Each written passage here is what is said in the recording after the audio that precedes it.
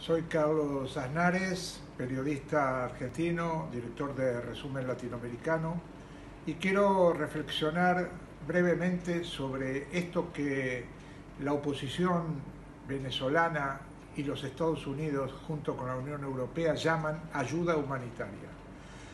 La ayuda humanitaria es algo que debe pedirlo un gobierno legítimo en caso de eh, conflagración y crisis eh, fundamental de lo que significa eh, asistencia sanitaria o una catástrofe que se puede haber producido en un país.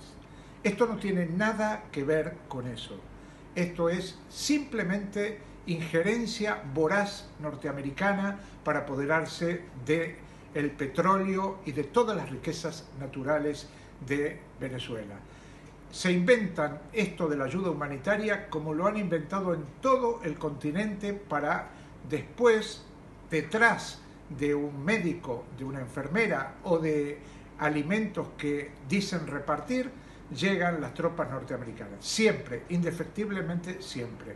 Por eso, desde Argentina decimos que nuestra solidaridad total con el gobierno legítimo de Nicolás Maduro se tiene que demostrar hoy más que nunca.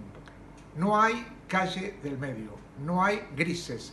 O estamos con el imperialismo, cosa que no va